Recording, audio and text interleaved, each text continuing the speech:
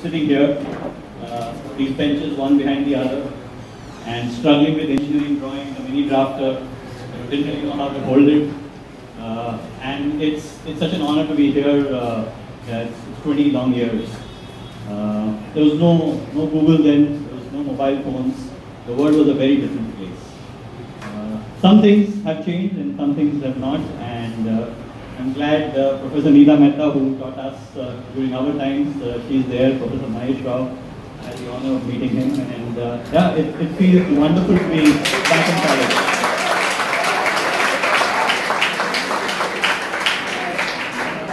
And I also see, I was here uh, in March when you had the, uh, you know, the entrepreneurship projects, and I see a few familiar faces. So yeah, glad to see you guys again. Great. So uh, startup. So let me let me kind of you know when uh, Sachin contacted me and he said, uh, "Sir, we are having a program on uh, startups." I had to tell him, "Mine is not a startup. Mine. I mean, I joined family business, so." So he said, no, but we still want you to be there because uh, one thing that all of you need to realize is that you are your own startup. Uh, a startup doesn't need to be a company. A person can be a startup. Uh, your thoughts, your ideas, your creations, everything can be a startup. So uh, not not everybody here should, should feel you know you would go. Some of you would uh, pursue further education. Some of you would uh, take up uh, a job to start with, and that's that's a good way always to start. I always believe that uh, uh, you know whenever you start your career, yes, if you want to pursue further education, probably do a master's degree. If it's a technical, yeah, you would directly kind of move on from your engineering. And if it's a management, I would always suggest that spend a couple of years, get a feel of of what work is like and uh, in the industry that you like, and uh, then probably do an MBA. But uh, certainly uh, stopping your education here uh, is not something that I would recommend. So uh, we have what final year students, or we have we have a mix. Okay. Yeah. So yeah. So for those who are in final year, I'm sure you would have already had some plans in place. So just just some inputs inputs on that, and yeah. So we'll kind of continue with. can you please go one step? Just a side back. Yeah, and uh, before I, I start my speech, uh, you know, we're talking here uh, on 6th of September, a day after Teachers' Day. So yesterday was, was our Teachers' Day, and uh, I wish all our teachers uh, here at uh, TSEC a very happy uh, Teachers' Day. And as I said, you know, these are our mentors. a big, big, big round of applause And I would like to dedicate this talk to all my teachers. So yeah, uh, can, tell, tell am I audible because I'm not comfortable holding this? Yes. So I will shut this off. It's much better. So yeah, if I've seen far, it's because I've stood on the shoulders of giants. I've, I've been blessed to have a wonderful family.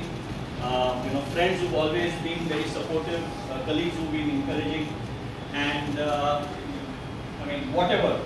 Standing on the stage and talking to you is, is indeed an honor, and uh, it is not without the contribution of all, all the teachers and all the people in my life uh, that this would have happened. And uh, yeah, just to add today, my better half, my wife, Purvi Dixon, she was Purvi When she was here, 1998 batch chemical engineering, she is with her. So, big round of applause.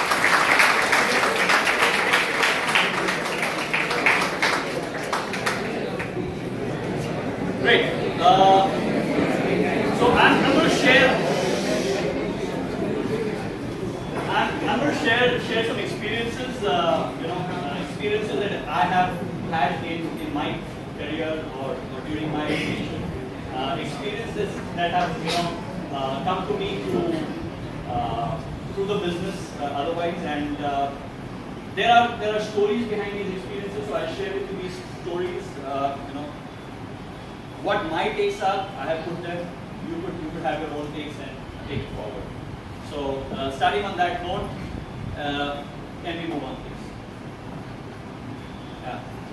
So when we were students like you, uh, and when there was a difficult question paper, we would all say, "Yeah, ये तो syllabus में था ही नहीं, madam ने तो पढ़ाया नहीं." Okay, and uh, आ गया paper में, so there is no way we could have attempted, right? Does it still happen? Yes. Right. In fact, our batch, 1998, was the most notorious batch because we actually took the university to the court. Okay, we had a, we had a paper, an MTO paper, uh, where uh, more than 60 marks of questions uh, came, you know, were incomplete. So there were questions which were printed half and the rest half was not printed. There were questions which were not in syllabus. So we took the college to the, the university to court and uh, eventually the passing mark, what is it now, 40? 32, okay. So it was 40 when, when, when we were there. You know, the, for that paper, the passing mark was brought down to 18, 1 Okay, so probably in the history of uh, the University of Mumbai.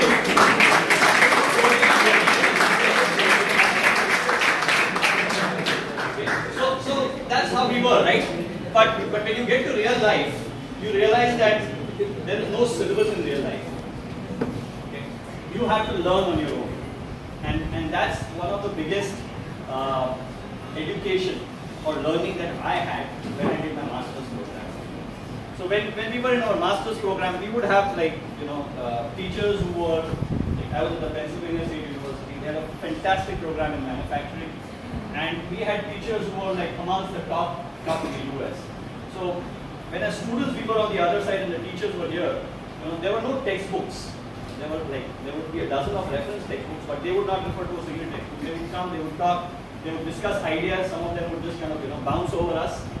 And uh, we were asked to carry on projects, do some projects. The projects that we took up uh, also were something which, you know, at that point of time, when I look back now, they were, they were fairly challenging. Like, like we all use Google Photos, right? Do you? Yeah.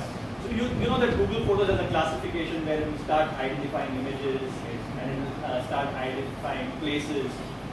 So this was way back in 2002 I'm talking. And we then took up a project where we would say that we would feed an image and we would let the machine identify what it is, right? And when we did that, we used things like artificial neural networks, you know, we had to learn some programming languages. We actually took real life examples and did it way back then. I mean, when you start a project, it's it looks it looks really a surmountable task, but when you get to it and you break it down in steps, it's achievable. So one thing, you know, uh, at some point of time, you need to accept that not everything in life will be taught to you. You have to be your own teacher. And that's that's the number one lesson that I want to share with you.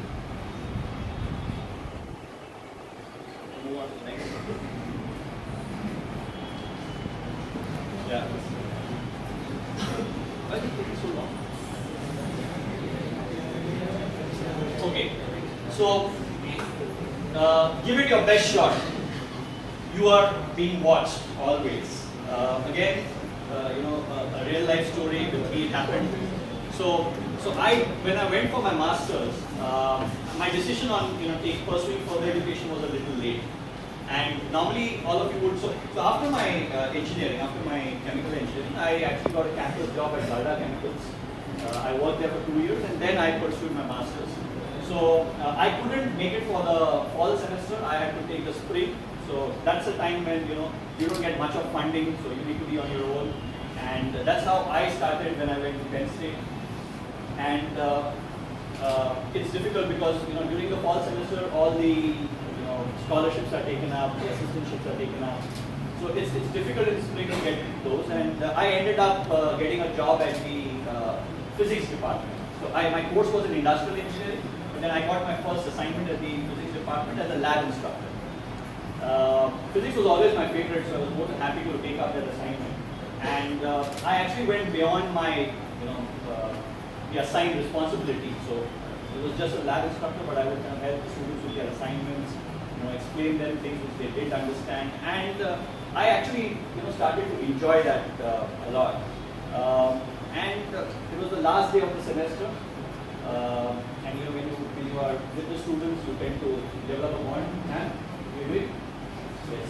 So, so to the last day, and uh, we said, okay, let's have some celebration after the lab, and uh, I just kind of took some cookies, soda, chips for them, and after the class, we took photographs and uh, you know had a small party there.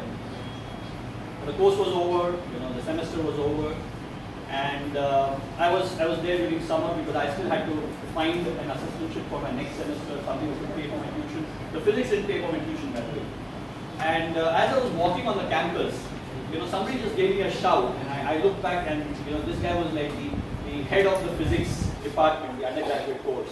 He said, uh, uh, Jayesh, just stop by, to talk to you.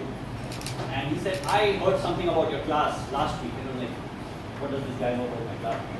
Was it was it something you know wrong that I did, like put some cookies and chips to the class? And he said, no, you seem to be quite popular amongst the, the students here. So um, uh, I have a job to offer you. Okay. And uh, we are starting a new online um, assessment system for the students for their assignments. And it's the first time that uh, the university is doing it. So, you know, the physics department is doing it on an experimental basis. And because you've connected so well with the kids, they know you. Uh, so I would want to assign you the responsibility. And this will pay for your tuition. And this will pay, you know, for your job, for your stipend. And you're taken care of. So I was the first in the physics department who actually didn't belong to the physics department, but belonged to some other department who actually got a funding from the physics department. So you never know, you know what comes your way. Always, always give it your best shot. Um, that said, you know, once that assignment started, uh, I had a course in the industrial engineering. Uh, another professor, you know, he saw my work and he said, uh, why don't you in the next semester join me for my research and you can take that as your thesis topic. So you do good work, you will be noticed, people are watching you. So whenever you have an opportunity, always give it your best shot.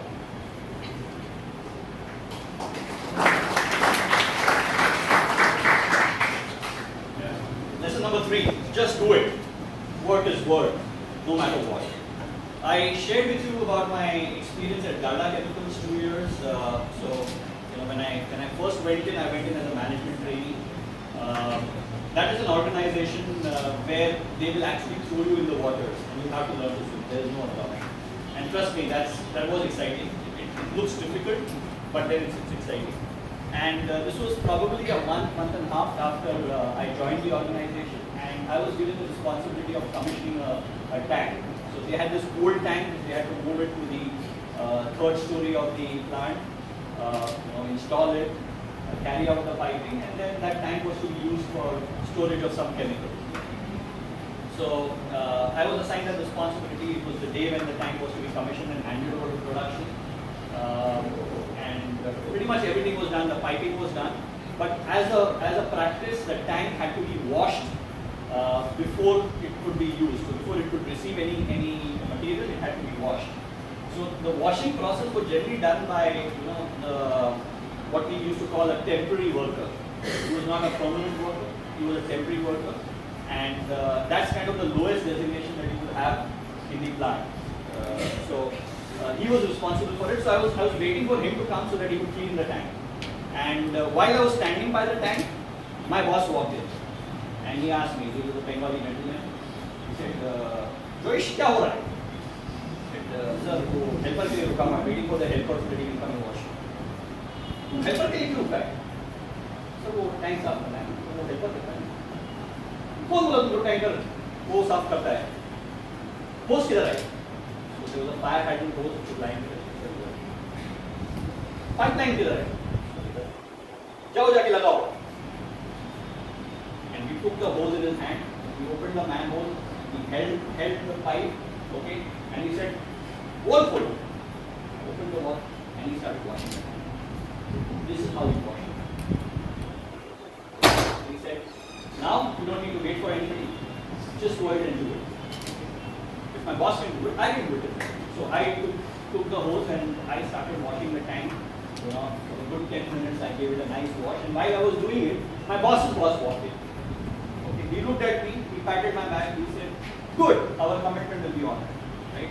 So no matter what work comes your way, do it. Don't, it's not that any task is menial. Okay, so long as there are commitments made by your seniors or commitments that you make. There are things that you will have to do. You will have to take the ownership and the responsibility.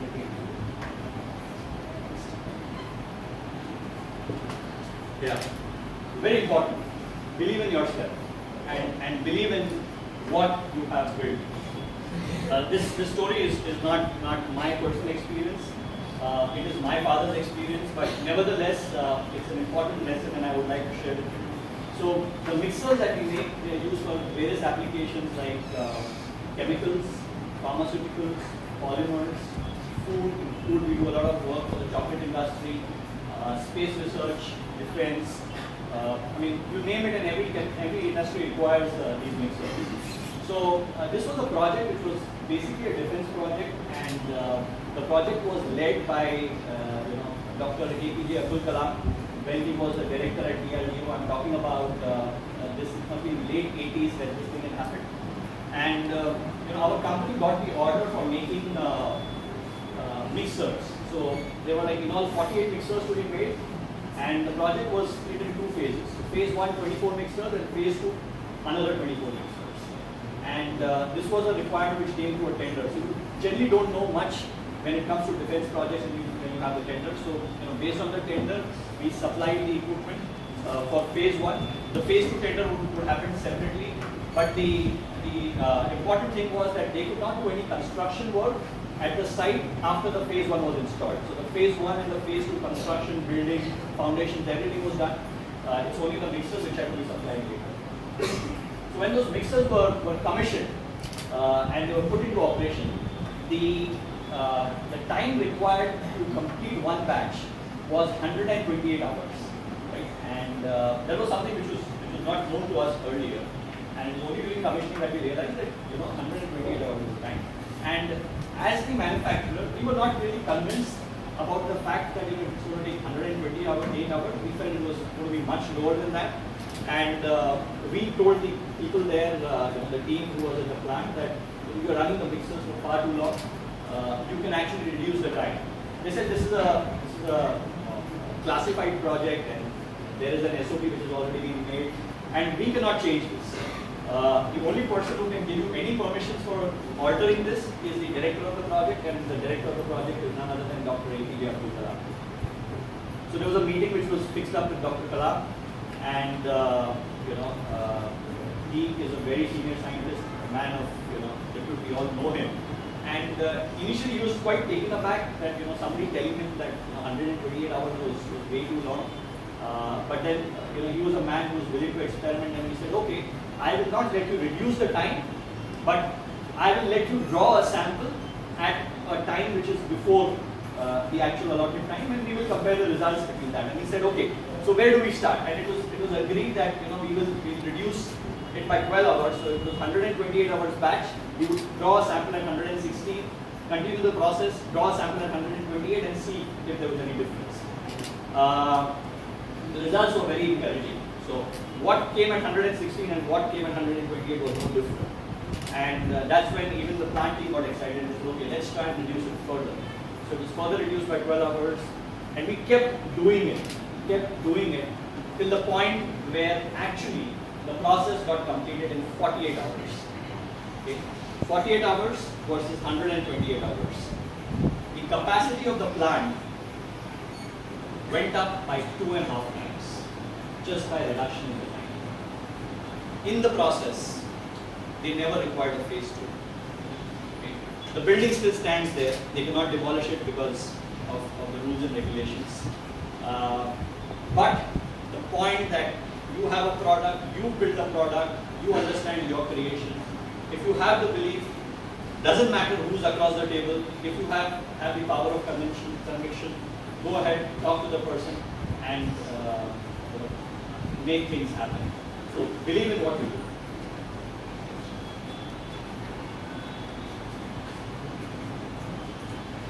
Get on the field. That's where the game is played. So I have a lot of students who come, uh, you know, for interviews, and uh, you know what we do is after we interview them, we tell them, you know, go to the factory, take a walk around, and share your experiences. And, and a lot of guys come and tell me, sir, I cannot work here. What happened? It's too much of noise in the factory. Uh, likewise, I remember, and I don't know Madam remembers this incident, you know, uh, the chemical engineering uh, in 1998 or between 1994 to 1998 was given the last preference in the college. Okay, so all the classrooms would be allotted, what would be left would be given to chemical engineering. and, and if there was nothing left, then finally, you know, we have a lab on the first floor. I, I, I see that lab has now changed a little, but we had a nice big hall like this, maybe bigger than this. And we had a chemical lab on this side, and what they did was they put some, uh, literally pardas, let me put it. Okay, some partitions, put a blackboard, put some benches and said, this is your class. So when, he, when we went to the senior authorities and we said, you know, when we sit here, there's a lab going on, uh, we are actually inhaling all the ammonia and, you know, all the smells. So how do you expect us to concentrate? And uh, our principal then, he told us, I'm preparing you for the field. Because when you go to a chemical plant, you will actually get this smell. So, you know, get, get ready now. Uh, but yeah, what is what is important is that uh, some of you may end up uh, with, with, jobs and uh, work profile which are in which are in offices. I always encourage to get out of, out of the office. Go go meet your customer. Go meet your vendor. Uh, go and you know go to exhibitions and, and, and learn. And I will share with you one such experience uh, where you know I was very reluctant to go and meet the customer just because it was an order which was not of a very high value. Uh, but eventually I did and, and there was a big learning there. So uh, there was this mixer. So when we make these mixers, our mixers range from capacity of 3 liters, which are lab size units, uh, to as big as say 30, 40,000 liters. So we got this inquiry for an 8 liter mixer from a company which is making explosive powders. This company is uh, based in uh, uh, a place called Gomia, it's a small place in Jharkhand. and the closest airport is Ranchi. So they had a requirement for an 8 liter mixer and for that 8 liter mixer, you know, we had discussions uh, over the email and the phone which went on for like 3 weeks. And they wanted to know everything about the mixer, you know, to the point that we were you know, discussing the design intricacies. And uh, after 3 weeks, they said that, okay, we, we are ready to place the order on your, your company, but there is one precondition that we have. And that precondition is that you will come to our facility to see our old mixer, right? I said, it's, it's a small mixer, you don't need to build much bigger mixer. Why do you want us to come? No, that's a precondition. Our management will only issue the order, you know, once you come here. So, so after a lot of deliberation and you know, postponing, I, I went to the plant. Uh, again, a two-day visit. So the first day, uh, whatever we went through in those three weeks, they actually wanted to run over it all through again. So we had a meeting with the production team, the process team, the safety team, the electrical team. They wanted to know everything. And I was like kind of getting impatient because you know, I've come here to see the machine, not to have the same discussions again.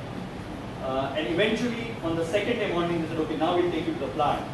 So we, we walked to this plant, okay, uh, it was a room which was probably less than half this size, uh, where the machine was being placed. And you know, I went with the guy who was, uh, was discussing the project with me right since the beginning. And we opened the room, okay, and I walked into an empty room. I don't see any mixer there, right? And I look around, I look around, and I, I see one corner there's a there's a black mark, like you know something has gone down. And then I look up to him, and he points to the ceiling, and I look up to the ceiling, and there's a big hole in the ceiling. And he says, "This was our last mixer." Right? So, because they were making explosives, the product which was mixed was an explosive powder. Something went wrong with the mixer and the whole thing blasted. Okay, and it created a nice big hole in the ceiling. And they said that our management decided that whenever we want a replacement mixer, okay, the company who will place the order, we will show them this hole. Because if they if they get something wrong on the mixer, the result will be the same. And that was kind of one big lesson. Because, as I said, you know, three weeks of discussion, going there for a small mixer, that is what they wanted to show. uh, I realized the intensity. Then they took me to the adjustment room where they said, we got this mixer 50 years back. It came from UK, we have no catalog, we have no manufacturer, we have no information. But this has been working for 50 years. We want your mixer to be like this. We supplied the mixer 2009.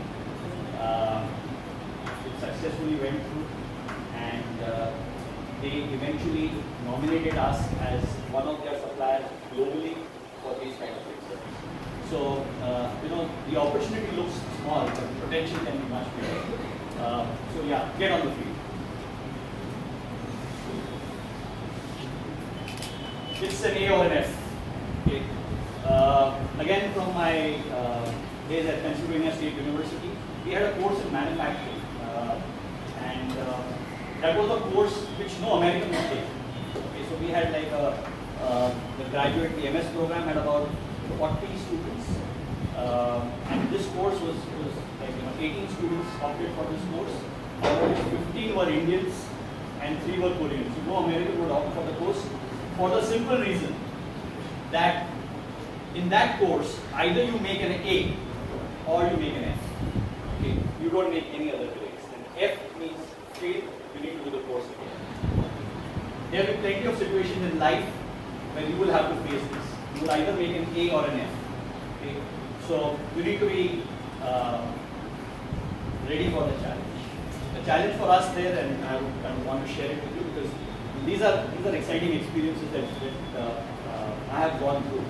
So this course was about sitting in, in one room here. So if I'm sitting in one room here, okay, and I have say five different components which are manufactured in my factory, then I would program the parts that are to be made today, okay, in the factory, uh, sitting from this room, and there would be a robot which would walk to the place where the raw material is, pick up the raw material. Okay, there was a series of processes uh, which were like machining processes. So we had a turning process, we had a milling process, uh, we had a process on a five-axis uh, milling machine. So it would the, the, the the robot would then move the parts between these these machines, and the finished product would be kept on a shelf at a, at a, at a specified spot. All this just through a press of a button. There was no uh, manual intervention at any point of time. Okay, and there was no no classwork in this in this course. There were no assignments. There was only one project, and the project was evaluated on the last day of the semester, where the professor would walk in the class and he would say, "Show me a demo." Okay, if your demo works, you make an A. If your demo doesn't work, you make an M. That's the end. So you will encounter these situations. Uh, be geared up for them. And there will be times when you will fail. It is not always that you will make an A, there will be times that you will fail. Whenever you fail, accept it, but never, never, never give up. Again, you know, uh, sharing a real life uh, story. Uh, one of our customers, our company uh, has been making mixers for like 38, 38 years, right? And I shared with you the how critical applications that we've been dealing with. And there was a very simple application where uh, with one of our most important customers, we had a mechanical failure uh, in terms of the shaft shearing during the mixing process. Okay. So it happened on one mixer. We thought probably something would have gone wrong uh, without much of uh, uh, thought into why it went wrong. We just kind of provided them a replacement and uh, moved forward. Uh, but two months later, we had three more failures in the same plant, you know, on three different machines. And when it happens with your most important customer, uh, you begin to fear uh, that you will lose the customer, just because there is a, a series of failures that you will cause. And the consequences of such failures are huge production losses.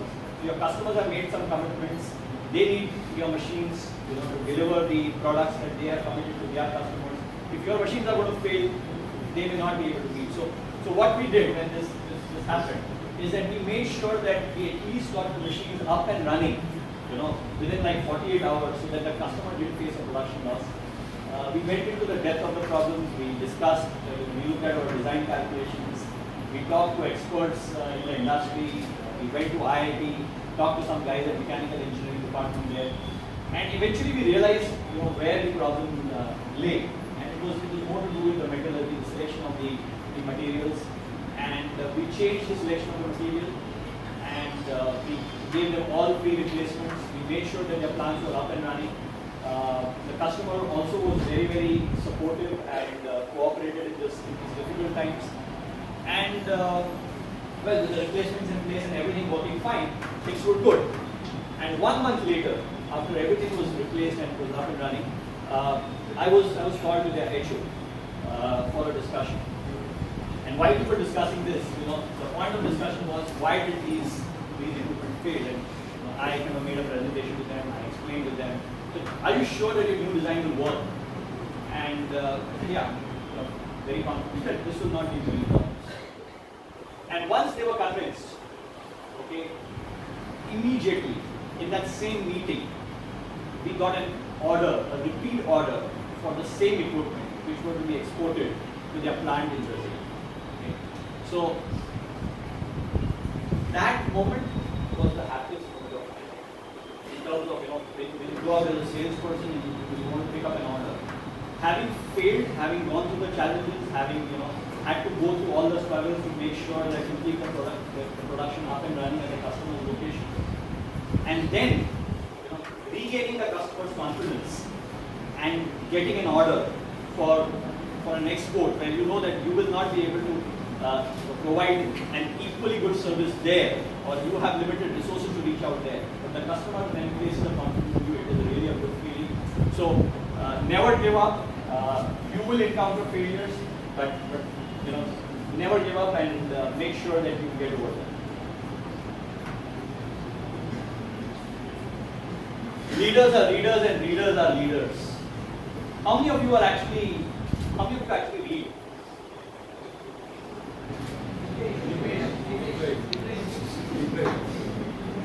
Yeah, yeah, please, please. Raise your hands. Right. So, so I, when I was in, sitting in your place, I was also not a leader, so I didn't raise my hand. So, nothing, nobody has to feel bad about it. I started leading in 2006, but trust me, you know, when I said, when we started, that learn by yourself in the beginning. So, uh, learning by yourself doesn't mean that you don't take any help. Okay? Uh, I always encourage uh, everybody to read. Uh, I always encourage everybody to be in touch with uh, their teachers, their professors, their mentors. Uh, and uh, again, you know, uh, what reading gave to me in one instance. So I was I was traveling with this customer uh, in Gujarat, uh, in in Dahej. So Dahej is an industrial belt in Gujarat where there were a lot of chemical plants. And uh, I took the morning Shatabdi train, so it was, it was about a four-hour journey. And uh, I said, okay, I have four hours, so let me read something. And uh, it just so happened that I was carrying a design calculation book that day. You know, reading about how liquid agitators are designed. I'm sure uh, you have a course called TEDD 1 and 2, right? Yes. So that's, you know, in that you would, you would come to how, how the equipment are designed. And uh, in, in that four hours, I, I read a lot about the book and I ended up being at a customer's place. It was a negotiation for an order. Uh, we lost that order. I didn't get that order and then it was still some time before I would probably get back. to Uh, so I was invited to look at one of their other agitators in which they were facing a problem. And when I went there, uh,